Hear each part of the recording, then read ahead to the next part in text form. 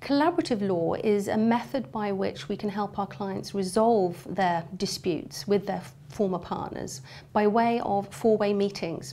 So instead of resolving the dispute as you may do traditionally before the judge in a court, we're committed to resolving the dispute round the table. So we will meet face to face. Um, we will be with our client, the opponent will be with their solicitor, and we will be committed to resolving the issue um, by way of meaningful negotiation. A good example of where collaborative law may benefit um, a party is where they may have very heavy work or financial commitments.